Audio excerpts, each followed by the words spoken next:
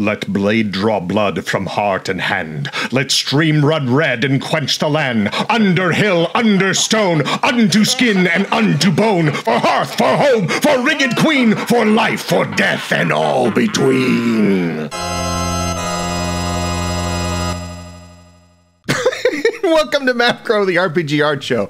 My name is Kyle, and today we are writing an adventure all around a monster. We are going to create that monster, we are going to create stats for that monster, and we're going to write our prep notes for that adventure. Get a glass of water to hydrate and sit in your comfiest chair, because this is going to take a while. I've also added chapter headings to the timeline for this video, so if you're looking for something in particular, you can scrub through and find it later. We're going to use some preview pages from my own project, Monstrous, which is going to be hitting crowdfunding this September, and we're going to use the 30-page preview packet from the Lazy DM's Forge of Foes by Teos Abadia, Scott Fitzgerald Gray, and Mike Shea. Monstrous is going to help us build our concept and story, and the Forge of Foes is going to help us actually design the mechanical rules that will govern 5e combat for this monster. And we're also going to sprinkle in some MCDM action-oriented design. And then we're going to follow some of the steps for prepping an adventure with Mike Shea's Return of the Lazy Dungeon Master. I have always said on this channel that different monsters should tell different stories. Monsters should be more than just a name that goes along with the stat block, that they should convey tone and theme and even suggest uh, a progression of events and a pace for the adventure. You know, like once upon a time there was a happy little village until one day, dot, dot, dot. Monsters are an interruption of the status quo. Yes, the whole world might be filled with all kinds of different monsters. They might be a fact of the world, but without integrating them into the story, they become ho hum. Now, I don't expect everyone to do this for every single monster that shows up in all of their games. I don't even expect folks to use this for a quarter of the monsters in their games.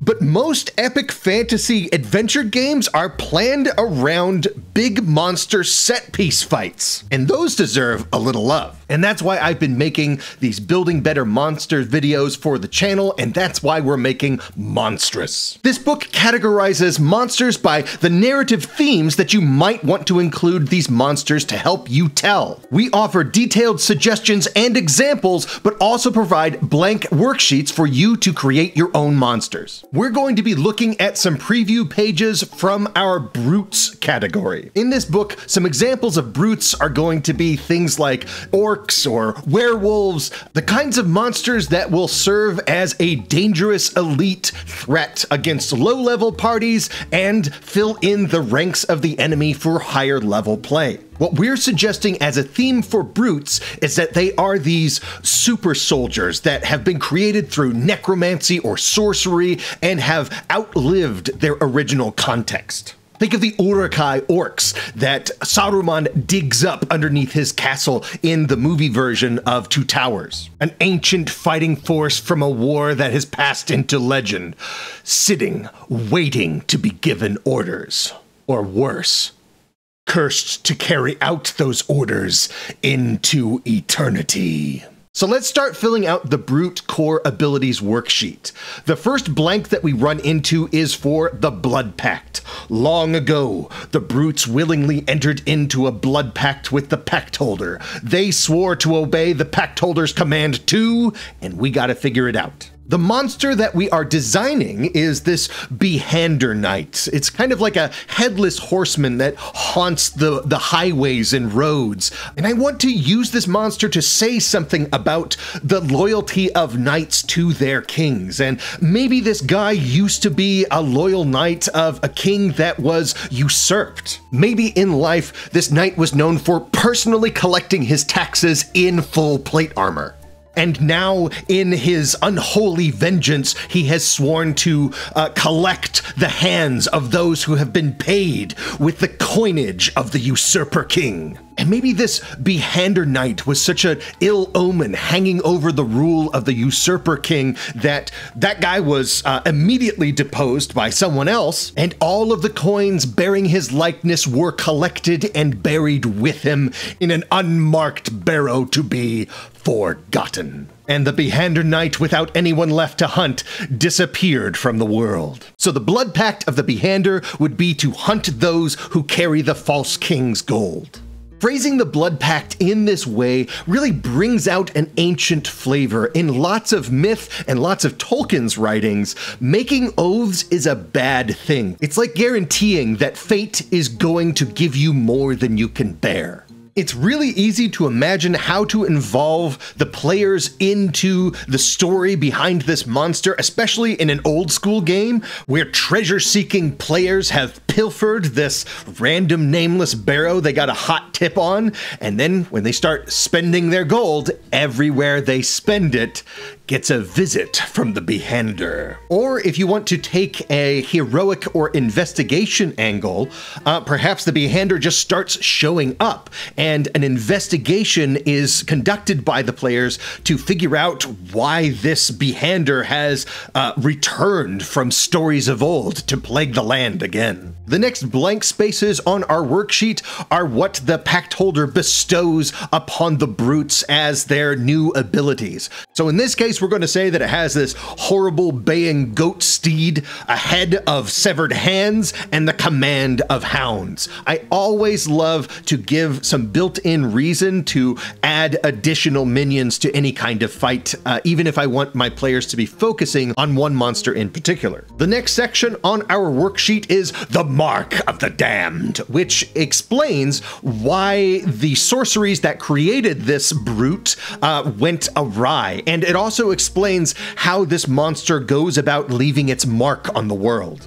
We have three different options for the origin of the curse, and we're going to choose the option that says to create the blood pact, the pact holder channeled an evil power more tainted than was intended. Some of the tales about headless horsemen are fey in nature, and I can easily imagine some fey patron kind of putting their own little twist on this bargain. Next, we complete the following sentence. Now marked by the curse, the brutes spread its evil upon the world. The brutes mark blank by blank. So our brutes are going to mark those who are carrying the coins of the usurper king by cutting a gash on their forearm. And moreover, whoever is marked by this behander has three nights full of nightmares of being ridden as a horse across the cindery plains of hell. And at the end of the third nightmare, the festering wound, the gash on the forearm of this victim, bursts open, and the victim's gangrenous hand crawls out into the night, seeming to follow the echoing sound of a hunting horn across the misty moors. And if the victim doesn't bleed out right there that very night, the searing phantom pains might drive them mad. I don't know exactly how this cursed knight is going to be able to blow a hunting horn without, you know, like a face, but um, I don't know. It, it's creepy. I like it. Who knows? Maybe I'll change it to the sound of snapping over the misty moors. This whole Mark of the Damned effect for the brutes is really designed to foreshadow and pace out the whole adventure and include sort of like a ticking clock or clues to follow on this investigation to solve this big problem of the monster. Many of the abilities that are on these core worksheets are designed to aim your monster at the world or at NPCs and not necessarily at the player in, uh, you know, initiative initiative combat. We still like to put our spin on combat abilities, uh, but we also assume that whatever game you're running has combat abilities that are designed for that game already. The next blank to fill in is the profane aversion. In their cursed state, the brutes cannot abide, and we'll say here,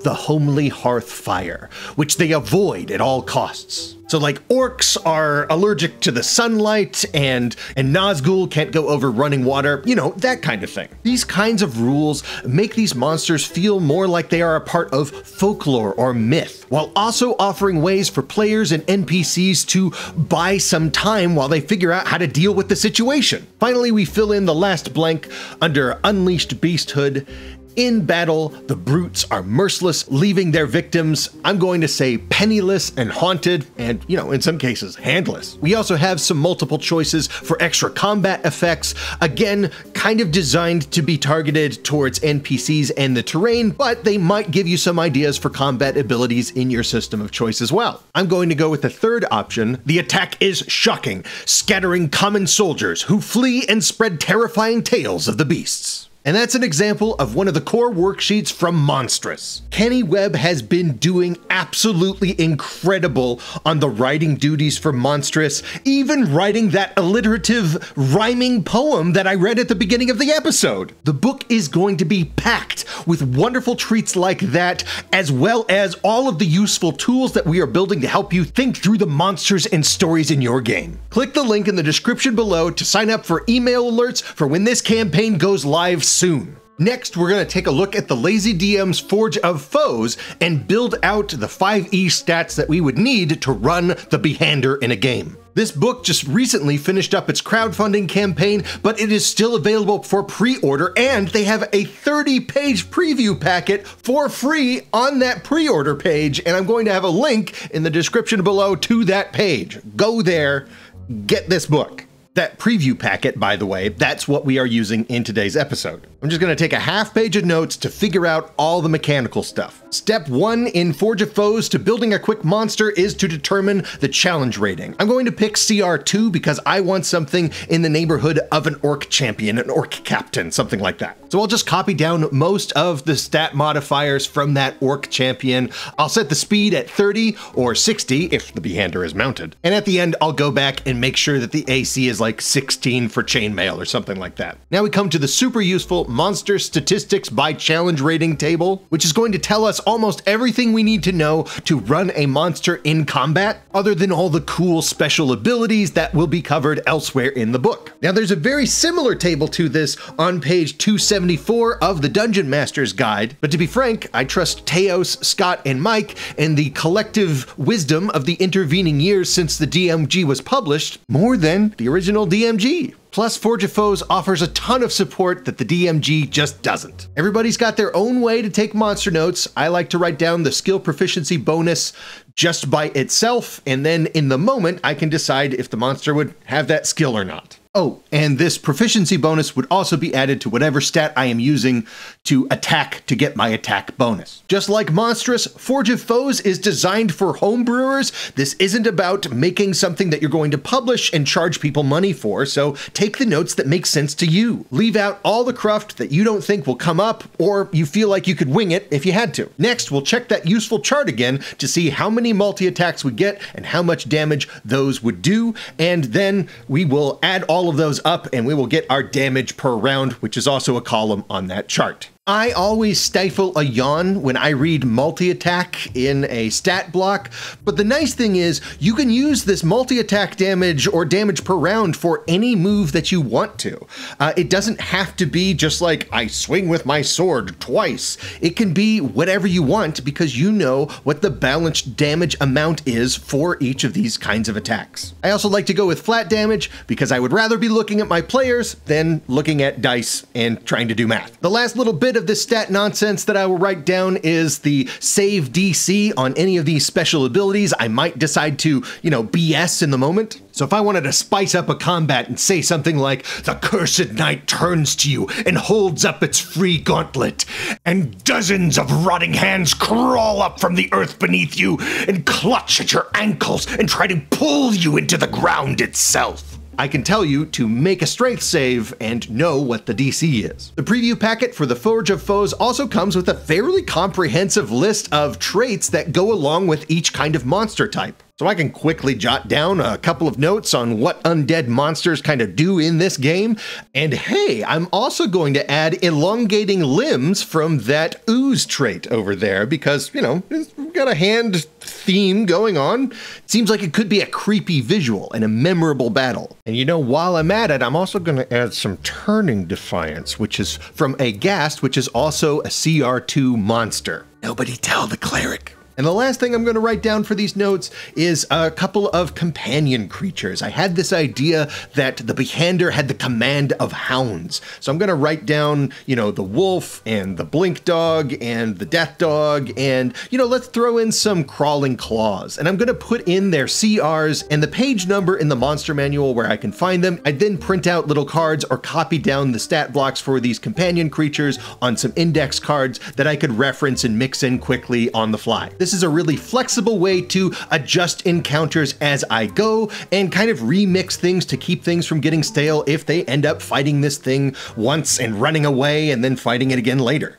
when they're leveled up and kind of know the situation better. But the Forge of Foes doesn't just have all the dry stat block stuff, it also talks a lot about how to build stories around your monsters or choose monsters that are based on the story you're already telling. Now, I'm fairly confident that I could run a pretty good combat with this Behander just with the stats that I've written down from the Forge of Foes. But to seal the deal, I am going to employ the action-oriented monster design from Matt Colville's video link in the description just in case you haven't seen it yet. Matt suggests augmenting normal 5e monster design with the inclusion of an extra bonus action, an extra reaction, and three villain actions. This helps to make the combat more memorable, flavorful, and challenging without leaning on things that are just going to extend combat, like increasing the monster's hit points or armor class. I'm going to start with a villain action.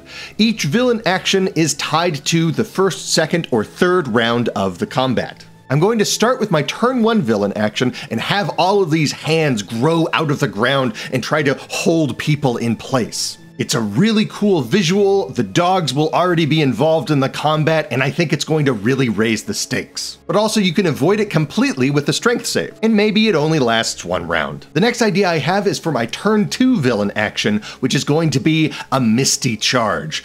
The Behander is going to disappear in a cloud of mist and then reappear somewhere else on the battlefield, charging towards one or more of the characters and using his multi attack as he rides past them. For one of the bonus actions, I'm going to say that he can cause some minuscule amount of necrotic damage on his turn to anyone who has taken damage from him or any of his hounds. And I'm going to give him another bonus action that allows him to heat coinage to be red hot. It'll cause some amount of fire damage to anyone who is carrying any coins at all, serving as a stand in for a kind of ranged attack. And I think it would be funny to watch all of my players look down at their character sheets in a place they're not used to looking during combat. Kind of makes me want to make a monster that causes damage based on like unused spell slots or something. Now, by turn three, I imagine most of my Hunting Hound ads have been obliterated. So why not give the Behander the power to resurrect them as skeleton dogs? As this cursed spectre raises his hunting horn into the moonlight, the skeletons of his hounds crawl out of their rotting skin. And for a reaction, I'm going to create a move called Faithful Step, which allows him to teleport adjacent to a target that one of his hounds has successfully wounded. With all these teleporting moves, can you tell that I had someone who was a grappling barbarian in my last 5e game? Can you tell? Can you tell?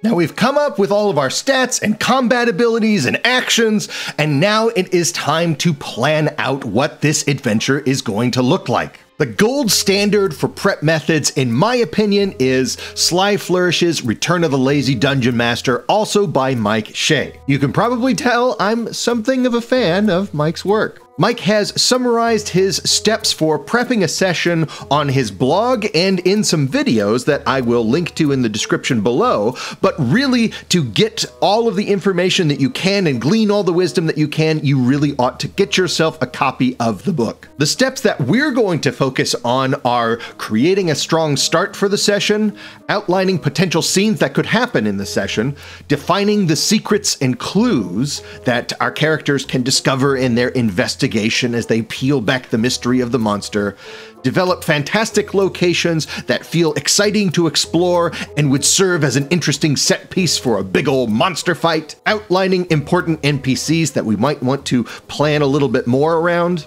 and then we'll choose any other relevant monsters that might come into play. The first thing that comes to mind for starting a session that is about hunting down and dealing with the Behander is to say that our characters are walking on the road at night nearing a roadhouse or an inn that they plan on staying at. When suddenly they hear the sounds of combat, the baying of a strange goat, and the barking of mad dogs. When our heroes arrive, only the hounds still remain, and someone has already been marked by the Behander. This way, we don't have to, you know, uh, uh, GM Fiat, our main bad guy, out of the combat, and we can have a suspenseful story of, like, what exactly happened here after the combat has finished. The heroes can then help these travelers make it the rest of the way to the inn to settle in for the night and lick their wounds, or charge into the moors in the middle of the knight in search of the Behander. In any case, it's very likely that our players will wind up back at that inn to recover their hit points and spell slots,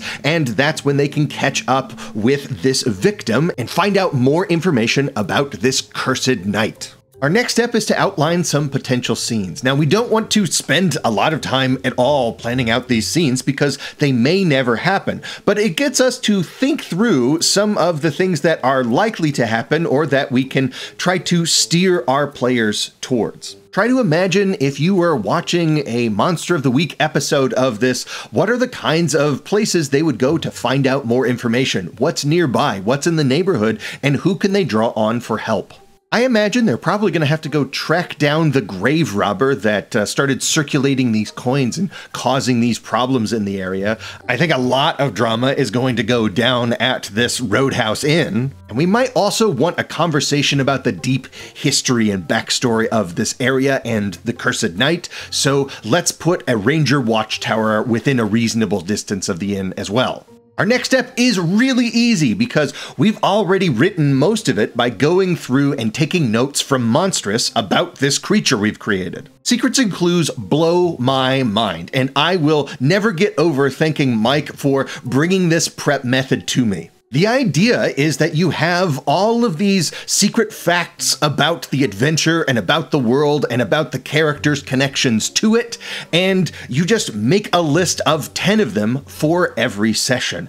And importantly, you never write down where they're going to find this information or who they're going to find it out from. You just have it there so when characters are investigating a location or talking to an NPC and they look at you like you're supposed to tell them something important, you have a big list of important things to tell them. I'll write out all 10 secrets on a separate sheet of paper after I've finished all of my scratch notes. Next is to come up with some fantastic locations to support exploration and our big set piece fights. These are the places that our players are really going to remember, and they're going to know they're important because you're going to write down a couple of short, evocative descriptions of how it feels to be in this place, of the sights and smells. We're not writing a bunch of Purple Prose box texts, but uh, we are writing something that we have on hand so we can make these locations feel real. It also helps to tie these fantastic locations to some kind of monument or structure that you can then plan the battle map around if you expect combat to occur here. I'm imagining that this Behander Knight apparates upon this old crumbling stone bridge that arches over this marshy cesspool. For some of the other locations, I'm going to draw upon what I've already put down in the Old Road zine. So opening up to the map of Soul Cypress Valley, I can kind of just pick and choose a couple of these locations on this map to put into my game. I really like the image of these will-o'-the-wisps circling around these ancient waystones, and this barrow mound with all of these hands and arms popping out of it. And if I'm looking for some more inspiration, I can just pick out some rumors of the valley. The wisps devour light and drink breath. Or maybe the night in the valley suffers not the sound of metal and glass. Maybe I could even pop some of those rumors into the secrets and clues so I'd have them on hand for NPCs to tell the players about. Then we will outline some important NPCs. The first NPC that pops into mind is the victim, the person who gets marked at the beginning of the adventure. I'm really going to pull on the heartstrings of the players with this one, so I want it to be someone that they feel compelled to help cure this curse. So maybe it's some kind of country doctor who is out on house calls, or ooh, ooh, how about a midwife that is returning from recently helping someone deliver a baby? Next, there is the grave robber, the thief that maybe even paid the midwife and started this whole problem. I mean, that's pretty bleak. The idea that uh, you know somebody would rob a, an old tomb just to pay for the delivery of their child, but I don't know. I, I think that makes it interesting. That'll make this situation stand apart, and we'll have plenty of other kinds of you know daring do and combat in other places in the adventure. We don't need to also fight a thief. Now, I generally don't really like to put in a bunch of fantasy races into my um, RPGs, uh, but I really like the idea of a Kenku as the as the thief. Because these bird people can only speak by repeating words that have been said to them recently, uh, it would add an interesting layer of um, uh, social interaction and investigation to figuring out where this tomb is and what happened and how to return the coins to where he got them and all this good stuff. And the last NPC I feel like we really need to figure out is the innkeep of this extraordinarily conveniently placed uh, roadhouse. I am going to call him Butternut, and I'm going to make him the most helpful person who has ever lived while also being charmingly dopey. I'd also probably need to take some notes on this ranger character, but this is a really good start. And the last thing we're going to do today in our prep notes is choose appropriate monsters. Now, we've already done a lot of this in making the notes of what kinds of creatures follow the behander around, uh, but there's other things that we can draw upon and have on hand when we're running this session. Because this adventure is taking place on a highway that cuts through some dangerous haunted moors, I think it would be a great idea to prepare a shambling mound, a couple of different kinds of ghosts and skeletons and undead creatures and and you know, some giant spiders. Having these monsters on hand will make it easy to improvise if our characters zig when we think they're to zag or they run straight into the haunted barrows or you know, whatever they do, we'll have some idea of some flavorful thematic creatures to show them. Here's an example of some notes that I made in preparation for a 5e game last year. I put my strong start at the top, and most of this sheet is just a bunch of secrets and clues. I've also mixed in the important NPC stuff and the fantastic location stuff into those secrets and clues as well. And because this was an urban sandboxy game, I also had a big list of uh, what the rival factions in the city might be up to, just in case it came up. Any other notes would probably just be labeled directly over the top of whatever Dyson Logos maps I decided to use for that session, and other than that, I would just have my monster stats and I'd be ready to go. I only prep until I feel like I have a clear vision of how I think the session is going to go, and a couple of different directions that could be taken are also covered in the notes, and then I stop prepping, and the only thing left to do is run the game. And that is basically it. We created a brand new monster, we gave it some uh, mechanically appropriate stats, and we planned out a, a pretty beefy little adventure for it. I think a couple of sessions hunting down this Behander Knight would work really well in a monster hunting style campaign. Like if you're playing a game like from The Witcher or something, it would work really well there. Or if you just want to make overland travel seem more interesting, like if they're kind of in between adventuring locations and you want to draw out the travel a little bit more and have a little like spooky episode, this would work really well there too. Thank you so much for watching, and I hope you enjoyed me showing you how we're building Monstrous to help you plan out exciting, flavorful, adventurous sessions for your your game. Check out the links in the description below to get notified when the crowdfunding campaign for Monstrous goes live, and also pick up Forge of Foes and Return of the Lazy Dungeon Master because those are great books, and I can't imagine running these games without them next to me. And that is, I think, all I have to say about preparing an adventure that is based around a monster. Except, you know, there are going to be a bunch of skeletons in the tomb of the Usurper King, and we did just take a bunch of notes and, and finalize our design on what skeletons are going to do in Monstrous. And, ooh, ooh, ooh, I should put one of our mimics in there too. That Hey, welcome to the After Crow. Uh, I want to thank all of my patrons who really help support this show and all of my endeavors. It really means a lot to me and it really opens up a lot of options for, you know, what I can do and I really appreciate it. I got a lot of feedback on the previous video on uh, designing dungeons that the longer format, as long as the content, you know, warrants the length, is actually a really good fit for this channel. So I, uh, I maybe I maybe I went a little overboard. Maybe I packed a little bit too much into this episode, but I had a lot of fun doing it. And I kept going back to it and changing and adding things to it because I just wanted this to be the one-stop shop to have all of my ideas for how to start from uh, just a single monster idea and how to take it all the way to where it needs to be to run a session based off of that monster.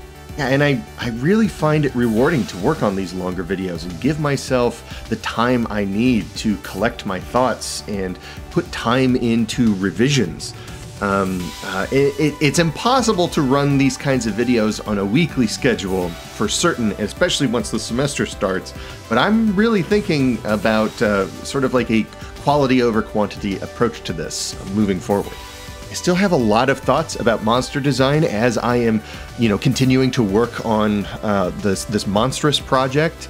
Um, so if you have any questions about that, any kind of monsters that you want a video on, um, please let me know in the comments below. I, am always on the lookout for uh, topics that people are interested in. Um, but in any case, I will see you next time, and thank you again for watching.